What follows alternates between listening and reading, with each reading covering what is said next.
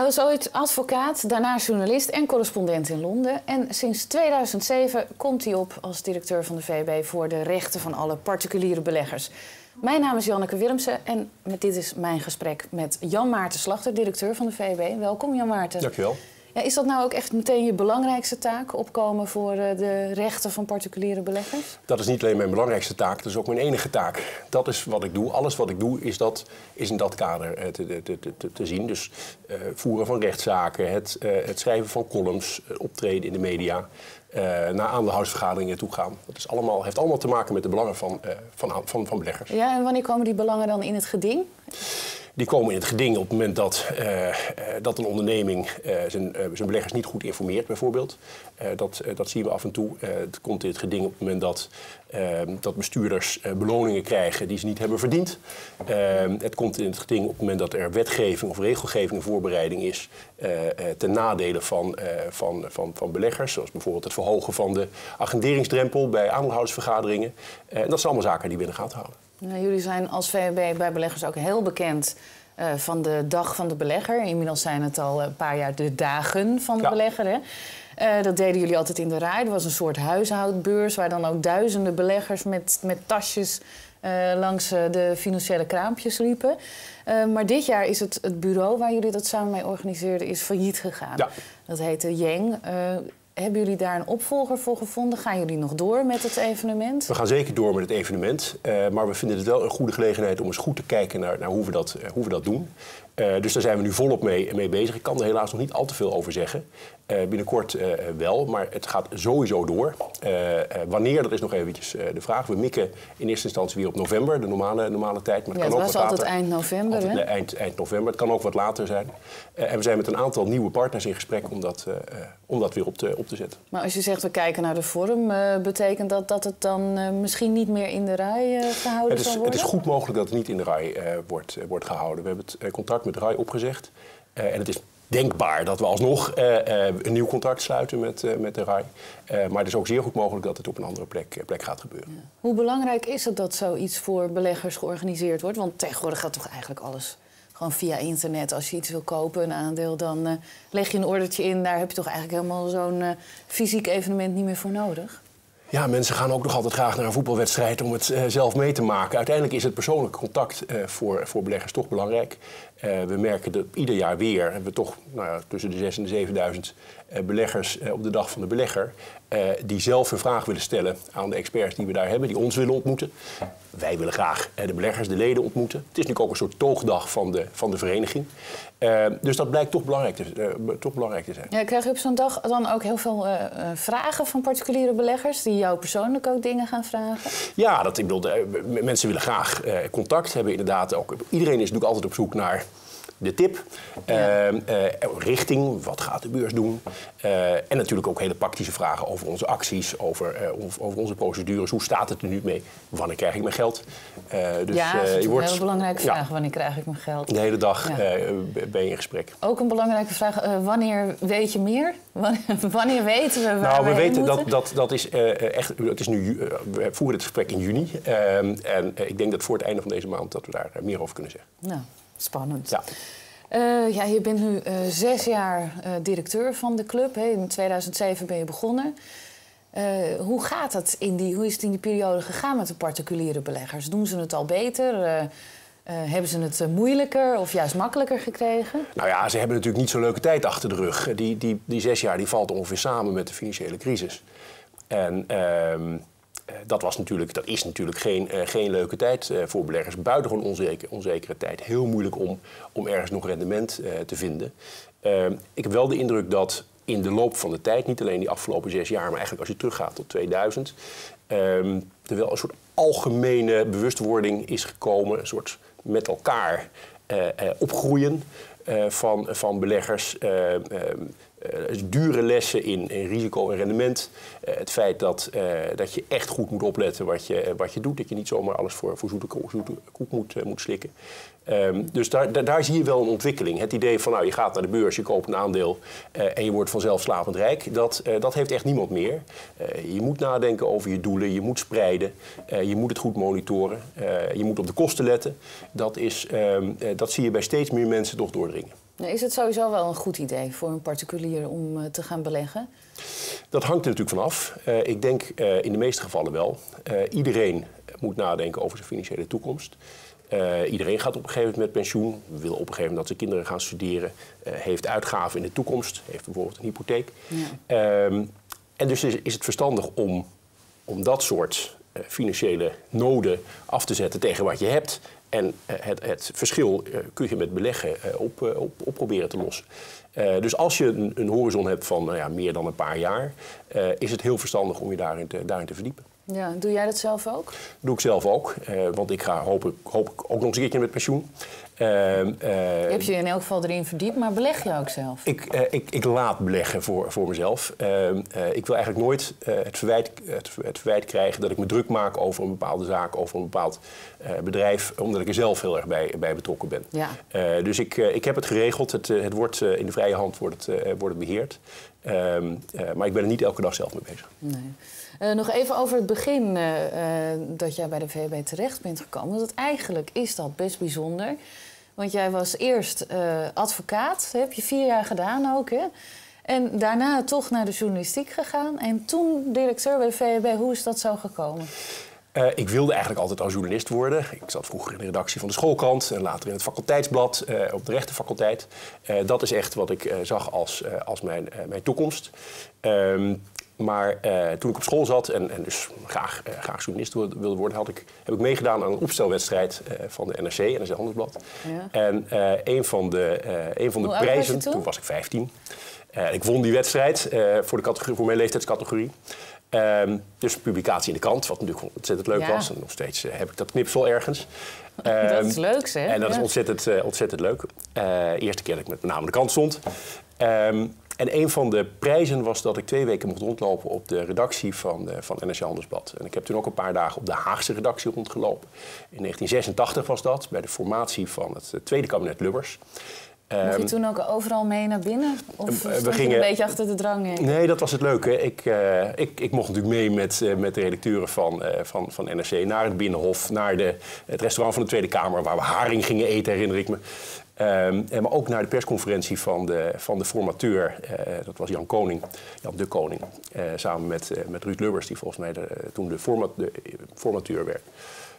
Um, ja, dat was een ongelooflijk spannende tijd. Nu was natuurlijk een uh, jongetje. Uh, maar uh, nou ja, aan de hand van mensen als Hugh Bik, die toen de, toen de chef van de redactie was. hij is, hij, is, vorig jaar overleden. en met hem heb ik toen op een gegeven moment een gesprek gevoerd over hoe het verder met mij moest. ik, zat toen, ik had toen net de vijfde klas gedaan. Ik ging ja, daarna eindexamen doen. En hij, hij, vroeg me wat ik, wat ik wilde gaan studeren. Ik zei, nou, ik wil ook graag journalist worden. dus ik denk aan politicologie of aan geschiedenis. Um, dus ja, dat zijn natuurlijk goede studies. Niet de school voor, de journalistiek? Niet de school voor journalistiek, want het leek me leuk om een uh, nou, universitaire studie te gaan, ja. gaan, doen. En dat kon, toen had je nog geen universitaire uh, journalistiekopleiding. Um, dus en toen, zei, ja. toen, zei, toen zei uh, dat zijn natuurlijk allemaal prima studies, maar als het nou niet lukt om de journalistiek in te komen, dan wordt het lastiger om een leuke baan te vinden. dus ga dan ook rechten doen, dat doet mijn dochter ook prima opleiding voor de journalistiek. Als dat niet lukt, dan uh, heb je altijd nog, kun je altijd nog advocaat worden of iets anders leuks. Nou, dat is eigenlijk de directe aanleiding geweest voor die, uh, voor die studiekeuze. Want en wat toen weet werd je, per ongeluk ook uh, Toen werd ik dus ook advocaat. Toen, toen, toen ging, ik het, ging ik het studeren en, en nou, ik heb heel lang... Maar dat is eigenlijk wel gek. Je wilt journalist worden, dus ga je rechten doen. Wat op zich al wel interessant is, vind ik. En dan word je natuurlijk advocaat. Ja. En dan later toch journalist? Nou ja, toen ik eenmaal aan het einde van mijn studie was, eh, begon ik het eigenlijk best heel interessant te vinden. Het is, het is ook interessant rechten. Eh, en ik vond het jammer om, ehm, om dat gelijk weer los te laten. En het leek me ook goed om, voordat ik, want ik had nog steeds in mijn hoofd om journalist te worden, maar ik dacht het is goed om een soort maatschappelijke basis te leggen. Gewoon weten hoe bepaalde dingen werken, hoe het bedrijfsleven werkt. Uh, voordat, ik, voordat ik die stap werd, dan heb ik iets, ook iets om over te schrijven. Um, dus toen ben ik, toen ben ik inderdaad advocaat uh, geworden. Uh, bij een groot kantoor. Was je daar eh, goed in eigenlijk? Nou ja, ik, ik werkte bij, bij een goed kantoor. Uh, en ik, ik mocht, je begint dan drie jaar advocaat stage. En vervolgens kun je medewerker worden. Nou, ik, ik, mocht medewerker worden. Dus ik was um, nou ja, goed genoeg om daar mijn brood mee te verdienen. Ik denk niet dat ik een hele goede advocaat was, eerlijk gezegd. ik denk dat ik uiteindelijk ik hoop dat ik uiteindelijk een betere journalist ben geworden dan ik advocaat ben geweest. Maar ze hebben me in ieder geval niet ontslagen omdat ik het slecht deed. Dat ik het zo, Oh, gelukkig. en toen, hoe ben je toen van die baan weer in de journalistiek terechtgekomen? Um, ik, ik, deed het dus uiteindelijk 4,5 jaar. En, na een jaar of vier begon het natuurlijk wel een beetje te kriebelen. Ik dacht, ja, dit uh, John Lennon zingt uh, Life is what happens while you're, making other plans. Uh, en dat, dat gevoel begon ik een beetje te krijgen. Maar eigenlijk wilde ik dus journalist worden. En ik ben dit gaan doen voor nou, de reden die ik net noemde. Maar um, ja, dan moet ik dat ooit wel eens gaan doen. maar waar kan ik dan terecht? En op een gegeven moment kwam er een advertentie in de krant van het Financiële Dagblad. waar niet alleen nou, mensen met journalistieke achtergrond werden gezocht, maar ook bankiers en accountants en andere mensen met nou ja, dat soort uh, financiële ervaring. Advocaten werden niet genoemd, maar ik ging ervan uit dat het toch ook wel voor mij zou, uh, zou gelden. En dat bleek ook. Ik heb toen gesolliciteerd. Ik was toen 28. Dat was ook een goede, goede leeftijd om een, uh, nou ja, nieuwe, nieuwe start te maken nog. En toen ben je bij het FD gaan werken? Toen ben ik bij het FD gaan werken. Als, eerst als een soort algemene beursredacteur. Beursverslagen schrijven. En op een gegeven moment vroeg mijn, eh, mijn baas van, wil je renteredacteur worden? Uh, en daar heb ik echt dus, nou geleerd van de... Rente? Renteredacteur, nou ja, ik, dat, zei, dat is wat ik zei. Ja. Um, wat kun je vredesnaam, Wat kun je over de rente schrijven, anders dan dat je het krijgt op je spaarrekening, dat je het moet betalen uh, op, je, op je hypotheek. Um, en daar zaten, dus al, uh, daar zaten we met z'n drieën de hele dag over de rente te praten en te schrijven. Pieter Elshout, Bruno de Haas. En daar heb ik ook het meeste over economie van, van geleerd van, uh, van die twee. Uh, dat blijkt een fascinerend onderwerp te zijn. Dat vind ik nog steeds. De hele wereld weerspiegelt zich in de rentemarkt. Uh, bedrijfsfinanciering, monetair beleid, uh, overheidsfinanciën. Het zit allemaal, het is allemaal in het vak in, het, in het onderwerp rente te vangen. Um, en sowieso erg veel ja. plezier gehad als, als journalist bij, bij het Financiële Dagblad. En hoe kwam dan uiteindelijk bij de VNB? Want dan zou je zeggen, nou, daar zoek je toch wel misschien iemand uit de financiële wereld voor. Het gaat over beleggen. Nou doe je natuurlijk veel zaken, dus met jouw achtergrond als uh, advocaat uh, of jurist...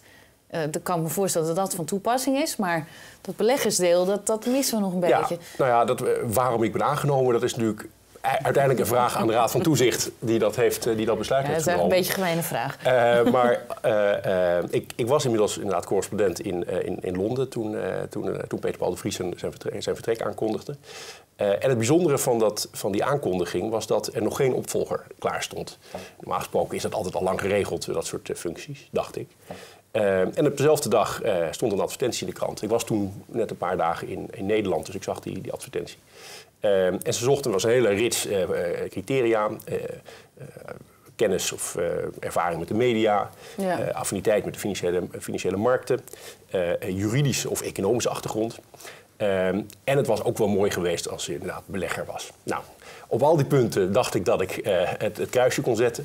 Uh, maar ik was inderdaad geen, uh, geen belegger. Want, want, ook als journalist, ook als financieel journalist, vond ik het verstandig om daar niet te veel, om daar zelf niet, niet in actief te zijn. En je bent toen natuurlijk uiteindelijk aangenomen. Maar zou je dan zeggen dat je nu hè, in die afgelopen zes jaar wel veel meer weet van beleggen dan toen? Of meer affiniteit? Nou ja, ik wil niet zeggen dat ik. Affiniteit is misschien het verkeerde woord. Hè? Ik, ik, had, ik, ik had en heb affiniteit met ja. de financiële markten. Ja. ik heb dus geschreven over de beurs over de rentemarkt. Uh, wat bij elkaar toch een groot deel van de, uh, van, van de beleggen uh, ja, omvat. Um, dus de, de affiniteit en de interesse is er, is er altijd, wel, altijd wel geweest. Maar is dat dan nu, ik, dat bedoel ik natuurlijk, ja. is, je, is je kennis op dat vlak nog veel meer uitgebreid? Is het misschien net zo gegaan als toen uh, dat je begon te schrijven over de rente, dat je eerst ook dacht van wat zou daar te beleven vallen. En dat nee, je nu ineens op het beleggersgebied ook uh, ja, een hele ik, wereld voor je open is gegaan. Ik leer natuurlijk van, van mijn collega's. Ik lees natuurlijk zelf ook Effect, ons blad en uh, onze website. Dus ik, ik leer nog steeds veel. Ehm, maar het is niet zo dat ik begonnen ben als directeur van de VEB zonder uh, zonder werkelijke kennis van beleggen en beleggingsproducten. Ik bedoel, dat, is, nee. dat is onmogelijk. Nee. Dan ben je ook niet geloofwaardig. Nee, dat zou ook een rare sollicitatiecommissie geweest ja, zijn eigenlijk. Precies. Ja. Maar uh, is het nu nog veel meer toegenomen? Dat vraag ik me af. Want je zegt dus... Nou, de, de, de, de, wereld, de wereld staat natuurlijk niet stil. Dus we hebben uh, sowieso om, om bij, te, bij te houden, om goed te begrijpen wat er de afgelopen jaren is gebeurd, met de eurocrisis, daar, daarvoor de, de subprime-crisis. hoe zich dat allemaal verhoudt tot, tot ons leven hier en, en, en de financiële situatie van, van mijn leden. Ja, daar moet je constant voor, je voor verdiepen in ja, de media, boeken die erover worden geschreven. als het gaat om beleggingsproducten, ja, dat, dat ontwikkelt zich natuurlijk ook door. trackers waren vijf, zes jaar geleden veel minder, veel minder bekend. allerlei gestructureerde producten die, die natuurlijk nieuw, nieuw zijn. Uiteindelijk komt het natuurlijk allemaal wel neer op dezelfde basisprincipes. en die weer terug zijn te voeren zijn op er is een risico en daar wordt een bepaald rendement voor, eh, gevraagd. Ehm, en daar spelen dan de zaken als liquiditeit mee ook, ook, uh, ook een rol. En uh, partijen uh, die, daar, die daarin actief zijn. Um, dus je, je, kunt, je sowieso is het denk ik als professional onmogelijk om niet de hele tijd door te leren, omdat je anders heel snel, heel snel veroudert. Ja. Uh, je volgde uh, Peter Paul de Vries op. Dat was echt iemand, eh, ook als directeur van de VEB, die heel zichtbaar was in de media. En hij heeft ook heel lang voor de VEB gewerkt, 18 jaar, maar hij was niet altijd de directeur. Maar iemand die dus heel zichtbaar was, heel veel in de media. Uh, bekend stond als iemand die overal een mening over had. en een beetje, ja, hij had ook zo'n bijnaam, het blonde bijtertje of keffertje, zoiets. Uh, vraag me af van, uh, ja, met, als je dan iemand opvolgt, kun, kun, je zeggen wat jij anders doet? Of, en, en wat doe je bewust anders? Nou, ik heb natuurlijk nooit met Peter Paul gewerkt. Ik heb de eerste, we hebben nog een, een maand overlap, maar dat is, dat is natuurlijk niet, zo, niet zoveel. Uh, mijn indruk, mijn stellige indruk is dat we over de meeste dingen hetzelfde denken. je ziet ook dat de VEB in de jaren tot 2007 en daarna niet uh, inhoudelijk uh, heel, een hele andere koers is gaan, is gaan varen. We staan voor aandeelhoudersrechten, voor beleggersbescherming. Dus wat dat betreft verschillen jullie eigenlijk helemaal niet zoveel opzicht, van elkaar, In dat opzicht verschillen we denk ik minder dan, dan, mensen dan mensen misschien denken. Maar ik ben natuurlijk wel een andere persoon en ik heb een andere, andere achtergrond. Ehm, ik ben jurist, hij is econoom. en dat, dat leidt tot een iets andere nadruk op, op, op zaken. Ik denk dat ik misschien iets meer geneigd ben om in ieder geval in mijn denken enerzijds anderzijds te denken. maar, ik, maar ik heb het gevoel dat verschillen die je misschien kunt zien, en, en, nogmaals, eigenlijk is dat de vraag aan, aan anderen hoor, want die, die zien hoe, hoe ik het doe en hoe, hoe hij het heeft gedaan. maar die zijn denk ik toch kleiner dan je, dan je zou denken. Dus het zit inderdaad in ja, hoe presenteer je, wie ben je? En dat is natuurlijk, ja, we zijn andere personen. Ja. dus jullie hebben geloof ik 48.000 leden, hè? Dus dat zijn allemaal uh, beleggers die, zeg maar, doe-het-zelf beleggers. Hoeveel van die, van die doe-het-zelfers zijn er in Nederland ongeveer? Ja, dat is, het zijn niet alleen maar doe-het-zelfers. Er zijn natuurlijk ook, je hebt natuurlijk allerlei soorten en maten beleggers. Mensen die het inderdaad uitbesteden of die, het, die, die vooral in beleggingsfondsen beleggen. Ehm, maar wij gaan uit van een kleine miljoen beleggende gezinnen ja. uh, in, uh, in, in Nederland. en van die miljoen zijn er dan 48.000 die zijn... Een kleine 5% lid van de VEB, dus er is ruimte ja. voor groei. Ja, ja, zo kun je het wel zien natuurlijk. Maar wat, wat, wat zoeken die mensen bij jullie? Dat... Um, het begint ermee dat je als individuele belegger natuurlijk niet zoveel klaarspeelt richting aanbieders, richting beursfondsen. Uh, uh, dus als je werkelijk, als je als je, je stem wilt, wilt, laten horen, als je impact wilt hebben op wat daar gebeurt, dan moet je je verenigen. dat is de achtergrond van de vereniging. Dat is al bijna 90 jaar geleden is, dat, is, is, is die opgericht. dus als individuele belegger, het kan bijvoorbeeld zijn dat je ooit met de VEB in aanraking bent gekomen omdat je aandelen Ahold had, slachtoffer ja. werd van de boekhoudfraude. En je dat is een grote zaak waar jullie uh, lang mee bezig zijn Waar we lang mee bezig zijn geweest, waar we uiteindelijk uh, compensatie voor beleggers hebben weten te, weten te bereiken. Hetzelfde geldt voor World Online, hetzelfde geldt ja. voor KPN Quest. Uh, dus dat zijn allemaal zaken waar een beleggers dachten van nou, dat kunnen we niet. Als, als, ik, dat, als ik in mijn eentje een advocaat moet gaan betalen en een rechtszaak moet beginnen, dan ben ik heel veel geld kwijt. Uh, nu word ik lid voor de VEB, van de VEB voor een paar tientjes en dan doen we het samen. Ja. Uh, dus dat, dat werkt denk ik heel goed. Maar natuurlijk ook mensen die, we, we maken een uh, maandblad, Effect. Dat is volgens mij het beste beleggersblad van Nederland. nou, daar heb je dan dus een gratis abonnement op als je dit lid wordt van ons. een website met heel veel informatie. over bijvoorbeeld alle in Nederland beschikbare beleggingsfondsen, 5000 ja. fondsen. of je wil af en toe eens een vraag stellen aan onze telefonische helpdesk. Eh, kun je ook, uh, je ook een reden om, om, lid te worden. Dus je kunt een, hele, een heel aantal ja, redenen... Ja, ze kunnen voor alles bij jullie terecht. Even over die, over die zaken, want je noemt er net al een paar. Hè. Je zegt Ahold, KPN Quest, World Online. Dat zijn allemaal zaken waar jullie uh, grote successen in hebben geboekt. Um, nu, op dit moment spelen er ook twee zaken. Hè? Uh, of misschien wel meer, uh, maar twee die ik er even wil uitlichten.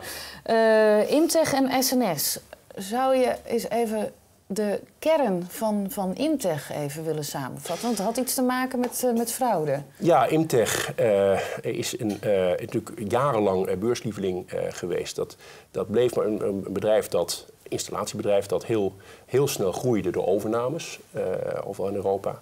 Ehm, en dat nou, dat daar steeds positieve verhalen over, over kon communiceren. Ja, Imtech is jarenlang het pareltje het van de pareltje beurs van de beurs. Ja. fantastische resultaten. Uh, en op een gegeven moment begon het daar een beetje te rommelen. Uh, het begon met, met een verhaal van een, van een analist van, van ABN AMRO... die zich zorgen, zorgen maakte over de, over de uitstaande werk, werkkapitaal. nou, dat werd, dat werd weggeblazen door Imtech van ja, nee, dat is geen enkel probleem. Zo gaat het nou eenmaal in dat land en in deze industrie. Vervolgens bleek dat er een groot probleem was in Polen, waar, waar Imtech een grote, grote opdracht had, had aangenomen om een pretpark te ontwikkelen, wat helemaal buiten de normale, uh, normale activiteiten van het bedrijf uh, viel. Uh, waar, waar enorm op, op afgeschreven moest, moest worden. Er werd, werd, niet betaald. Een enorm bedrag, meer dan 100 miljoen, is, daar, is daar afgeschreven. Nou, dat, dat was het begin van nou ja, een reeks, reeks problemen die later naar buiten kwamen. Problemen bleken steeds groter dan eerder gecommuniceerd.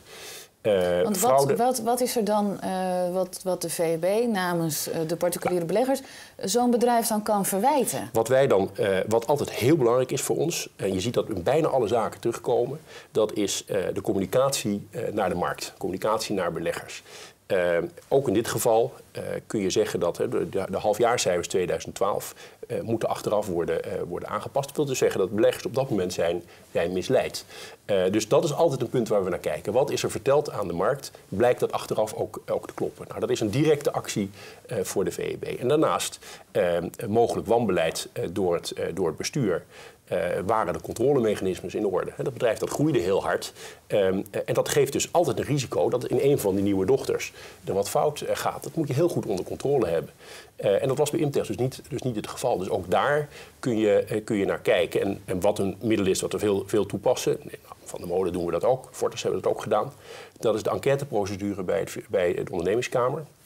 Dat is een, een onderzoek naar mogelijk wanbeleid. Dat kun je dan vragen als aandeelhouder. Uh, en dan worden er onafhankelijke deskundigen benoemd die onderzoek doen naar wat er precies is gebeurd. Komt een rapport uit. En uiteindelijk kun je dan vragen aan de rechter: is hier wanbeleid gepleegd?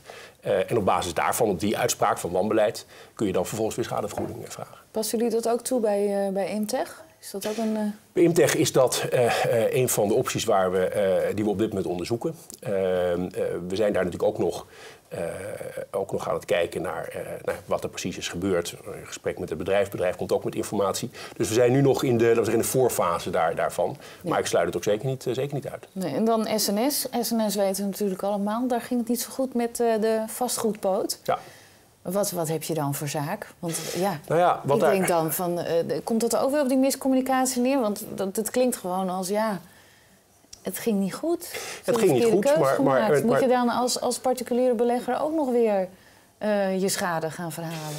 Begint, het begint natuurlijk uh, bij uh, de constatering dat daar een, voor het eerst in, de, in mensenheugenis de Nederlandse overheid een bank nationaliseert. De aandeelhouders onteigend, achtergestelde schuldeigenaren ont onteigend.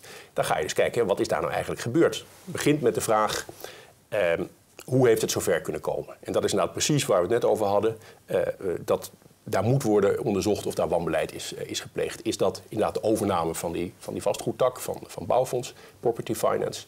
Uh, dat is heel snel gegaan in de tijd, dat is in een maand gebeurd. Vervolgens is dat waarschijnlijk niet goed, goed genoeg gemanaged. Uh, na, de, na de overname. En vervolgens heeft dat, uh, heeft dat geleid tot, nou ja, tot, tot de nationalisatie. Daar heeft bijvoorbeeld ook de Nederlandse Bank een rol in gespeeld. Daar heeft het ministerie van Financiën een rol in gespeeld. Hè, want uh, SNS Reaal heeft in 2008 ook nog staatssteun gekregen onder bepaalde voorwaarden. Is daar toen, toen, goed gekeken naar de stand van zaken bij het bedrijf. maar natuurlijk in de eerste plaats het management, de Raad van Commissarissen. Wat hebben ze gedaan? Wat wisten ze op welk moment? Daar moet naar, naar worden gekeken. En dan is het andere dat er een nieuwe wet is, de onteigeningswet, of de interventiewet. dat de minister van Financiën die nu voor het eerst toepast en dat moet dus worden getest bij de rechter of hij dat op een goede manier heeft gedaan. Dat hoort bij de democratische rechtsstaat. Dat als een overheid zo vergaand ingrijpt in Want de, particuliere de aandelen, De aandelen zijn onteigend. Eh, Ja. Die had je eh, op eh, 31 januari had je die nog in je portefeuille. En op 1 februari zijn ze weg. En er wordt nul compensatie aangeboden. hoeveel last hebben particuliere beleggers daarvan? Zijn Nou, nogal wat. bekend? Ja, er zijn, er zijn, eh, we hebben, eh, eh, inmiddels wordt hier dus over geprocedeerd. En zijn we nu eh, in, de, in de fase van de eh, compensatieprocedure bij de ondernemingskamer. Waar wordt gekeken of dat aanbod van nul, of dat eh, voldoende is. Of dat inderdaad reële compensatie is. Of het is eigenlijk gebrek aan compensatie. En daar spraken ook particulieren die daar hun eigen zaak kwamen bepleiten. Nou, ja, dus mensen die, die voor tonnen in, die hun hele vermogen in aandelen SNS Reaal hadden, eh, hadden, gest- hadden gestopt. Maar zou je dan niet kunnen zeggen, ja, dat is hun eigen Dat is fout natuurlijk, geweest? ja, dat is uiteindelijk is dat We een, leren altijd van je moet niet al je geld op één paard, eh, of niet op één paard wedden, niet al je geld in één aandeel stoppen.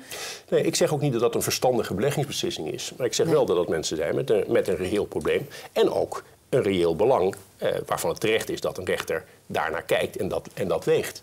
Ehm, eh, de minister past een wet toe. Dat krijgt legitimiteit op het moment dat een rechter dat beoordeelt en daarvan zegt, nou dat heeft hij inderdaad goed gedaan. En het is de rol van, van partijen als de VEB om inderdaad zo'n zaak voor te leggen. Eh, Ja. dat, dat gaat en terug naar hadden waar die we... particuliere beleggers misschien ook juist eh, doordat het werd overgenomen door de staat, doordat het genationaliseerd werd, SNS, hadden ze misschien juist nog meer vertrouwen ingekregen dat het wel weer goed zou komen met de aandelen? Nou, dat, of zeg dat- je van zo werkt dat niet? Eh, ik, ik, weet, ik, ik, weet, ik weet natuurlijk ook niet waarom die mensen dat toen, dat toen eh, met, met, met zoveel risico in, dat, eh, in die aandelen zijn, eh, zijn gegaan. Ehm, maar, maar het is natuurlijk zo dat de dagen voor de nationalisatie de verhalen in de krant stonden over de redding. Ehm, en eh, waarbij vooral- werd geschreven over de eh, mogelijkheid van een publiek-private oplossing. Waarbij dus niet alleen de staat, maar ook een, ook een private partij mee zou doen. En ik denk inderdaad dat er een aantal mensen daardoor hoop hebben gekregen dat, eh, dat het goed zou komen. En dat dus ook als aandeelhouder en of als obligatiehouder je daarvan zou kunnen profiteren. Achteraf een verkeerde inschatting. Ja. Eh, we, we staan ook, ik bedoel, we, we staan ook voor, voor, voor dat belang. Maar het gaat me, ik vind het wel belangrijk om aan te geven dat het nu niet alleen maar om dat soort mensen gaat. Het gaat ook om mensen die tien jaar geleden, of, of bij de beursgang 2007, die aandelen hebben gekocht, altijd hebben vastgehouden, voor 17 euro hebben gekocht. Ja. Nu hebben ze niks meer. Mensen die, die achtergestelde eh, participatiebewijzen eh, hadden, eh, dat, waren, ja, dat, waren, dat was een soort spaarrekening plus. hele brave beleggers die helemaal niet zaten te speculeren of, eh, of, of idiote risico's namen. Nee, die hadden gewoon een soort appeltje voor de dorst en opeens is het, eh, is het weg. Ja. ja, dat is natuurlijk vervelend. Nou, dan is het goed dat jullie daar eh, achteraan gaan Ja. natuurlijk. Nog even één actueel dingetje. We hebben net gehoord dat Gemalto in de AIX komt. Dat was een bedrijf waar ik eigenlijk nog nooit van had gehoord. Eh, had jij er al eerder van gehoord? Nou, eh, ik had er nog heel weinig van gehoord in ieder geval. Eh, nee, dat is natuurlijk een beetje een, een beetje een poppenkast. Dat is natuurlijk niet een bedrijf waar een Nederlandse belegger ook maar iets van herkent. Ze hebben in Nederland ook volgens mij geen, geen activiteiten. Het is een, neven, een nevennotering van, van de Franse notering. Ja, daar eerlijk gezegd maakt de beurs zich daar wel een beetje belachelijk mee om dat in AX op te, op te nemen. Oh, waarom? Nou ja, het AEX-index is de index van de leidende Nederlandse beursfondsen. Eh, het begint ermee dat dat bedrijven zijn die jij en ik eh, kennen. Ja. ja. Dus je zou zeggen dat moet echt meespelen eh, bij de dat- selectiecriteria. Je moet, dat, alleen... dat, dat een bedrijf inderdaad een Nederlandse kern heeft, dat vind ik wel, dat, ik vind dat je dat wel mag vragen. Maar, dan, maar ja, dan als, als we naar Ahold kijken, die haalt de meeste omzet buiten Nederland. Ja, maar dat is waarschijnlijk een- ook voor Unilever. Dat, is een, dat, dat, dat zijn toch nog steeds in de kern Nederlandse eh, bedrijven met een Nederlands hoofdkantoor. eh, met, eh, met, met, Nederland, met toch nog ook nog steeds een belangrijke Nederlandse omzet. Natuurlijk heb je, ik bedoel, Nederland is natuurlijk zit vol met, met internationale concerns, maar die uiteindelijk wel hun, hun hart en hun kern en hun basis in Nederland hebben. Ja, jij zegt van eh, die AIX-index, dat moet echt een Nederlandse index blijven. Wat, wat is het anders? Hè? Dan is het anders het een, eigenlijk een willekeurig ja, maar wat is het belang daarvan, denk ik dan? Nou ja, omdat de AEX-index iets zegt over eh, het eh, klimaat in, van de Nederlandse beursgenoteerde industrie. De stand van zaken van, van de belangrijkste Nederlandse beursfondsen. En je kunt in het geval van, zeker zo'n nevennotering, kun je daar eigenlijk niet meer van, niet meer van spreken. Dat is, dat is eigenlijk toeval dat die aan de Amsterdamse beurs is genoteerd. En dat, dat vertekent het beeld dus. En bovendien verlies je de herkenbaarheid bij, de, bij de particulier. Die nou, gooi maar een pet, die motor nooit van gehoord. Ja, goed. Dankjewel. Graag gedaan. En u heel erg bedankt voor het kijken en heel graag tot een volgende keer.